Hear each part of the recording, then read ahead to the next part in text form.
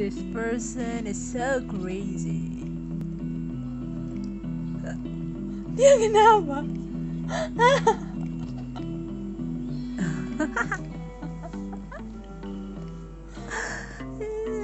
Stupid.